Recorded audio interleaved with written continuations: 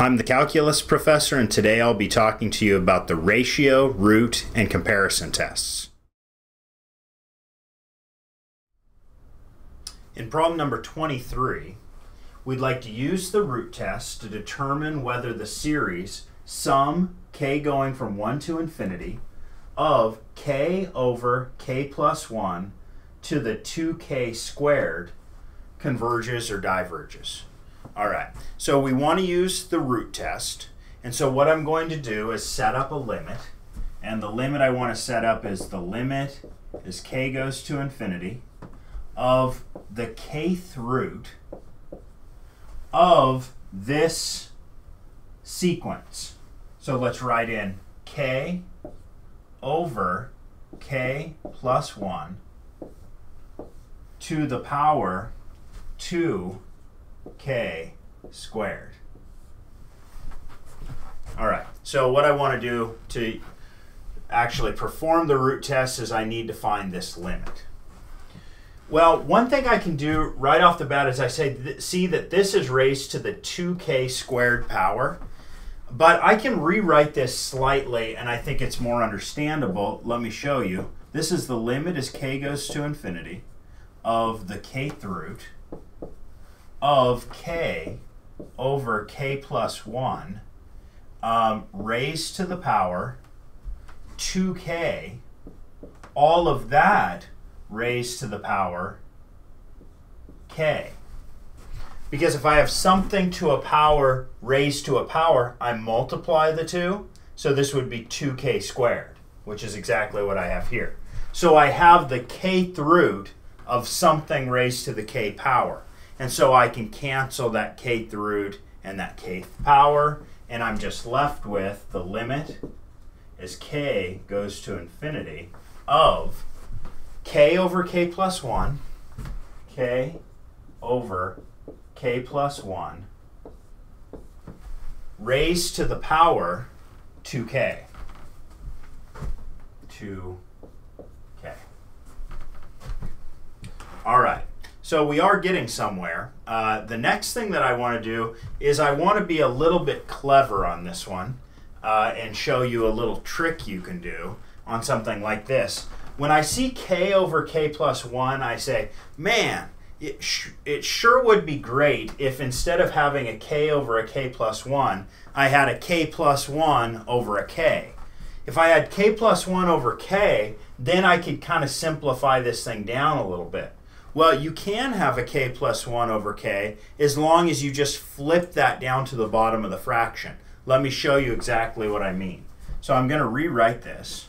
This is the limit as k goes to infinity of um, 1 over k plus 1 over k. That raised to the 2k power. But instead of raising this thing to the 2k power, what I want to do instead is let's raise it to the kth power and then square it. That's just the same thing I did up here uh, to get rid of these k's.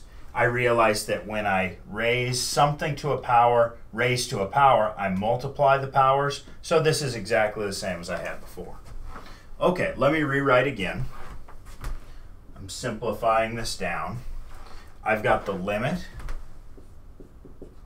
as k goes to infinity of 1 over uh, k plus 1 over k can be simplified down.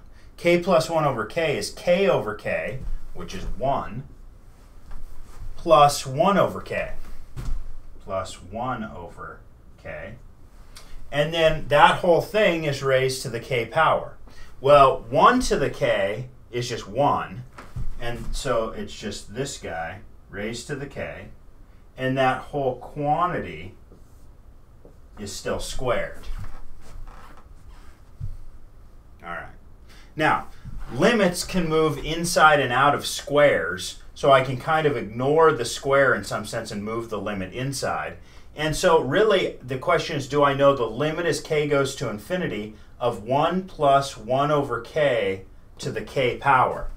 And we should know that limit. That is one limit that you definitely need to know is if you have the limit as k goes to infinity of 1 plus something over k to the k, the answer to that limit is e to that something. In this case, the thing on top is a 1.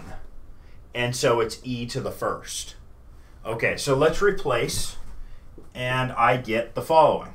That this limit is 1 over this bottom 1 plus 1 over k to the k. The limit is k goes to infinity. That's e to the first power, or just e.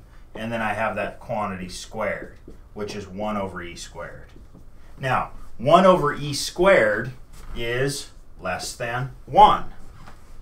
And I know that if something is less, if the result of my root test is less than 1, then the series that I started with must converge. So my conclusion on this is so the sum, k going from 1 to infinity, of k over k plus 1 raised to the power 2k squared converges by the root test.